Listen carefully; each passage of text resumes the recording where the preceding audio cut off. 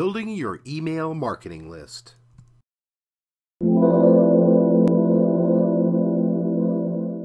Building an email marketing list is one of the smartest things a small business can do. When you get your customers and prospective customers permission to send information to them about your company, you have a golden opportunity to be their first choice when they look for your goods or services. Most people believe that they are getting too much email already so they have a natural inclination to not want to receive more email. The way to get over this hurdle has two parts. The first part is before they have signed up. You want to give them an incentive to sign up for your business email list. This can be a discount off of a purchase or an outright gift that either brings them into your business or promotes the usage of the products you sell. Be sure to make this incentive a good one. In another video, we will talk about the dangers of creating a lame incentive. So assuming you have a good sign-up incentive, you need to get it out where it can be seen. The first place is in your business, especially at the point of transaction. You should make a noticeable sign for your email sign-up list and have your staff remind people of the incentive for signing up when completing their transaction. The next place is on your website.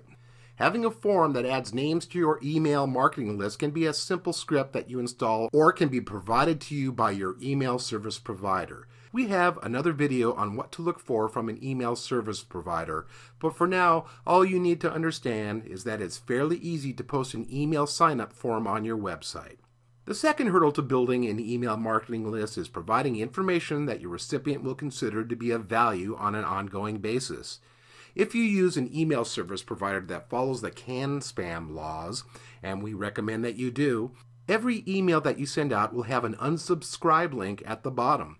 This means that every email you send has the possibility of causing your subscribers to remove themselves from your list. So it's vitally important that every email is valuable. One way to make your emails valuable is to offer important information about your products and services in the emails themselves. If you are a CPA specializing in small businesses, you may want to have a monthly mailing of tips of what to do to organize and maximize the efficiency of your records. Another item of value is to have email specials that are only available to email subscribers. One other key point to remember in email marketing is to deliver on a regular schedule. People expect things to happen regularly, like magazines, TV shows, and newspapers. It's easy to let something slide and then time passes and you realize you haven't gotten out an email to your customers in a few months. Once this happens, it's hard to gain back your subscribers' trust in you. That's why it's better to get an email out to your customers once a month on a regular schedule than to try to get out a weekly email that you don't have time to put together. I mentioned the CAN-SPAM Act earlier. This is a law that establishes requirements for commercial messages. We recommend that you spend some time reading up on this law because it does apply to you. The link is included on your video checklist. And while we're on the subject of unsolicited email, also known as spam, keep in mind that even though someone may have signed up for your email list, that doesn't mean that they won't mark your email as spam. People forget that they signed up or they are too lazy to unsubscribe, and it's easier in some email software programs to just hit the spam button. We go into more detail about this issue in our email service providers video, but for now, just realize that's the way people are. Email marketing may be old school internet marketing, but it still can be wildly successful for those who make the effort to do it right. Thank you for watching this video.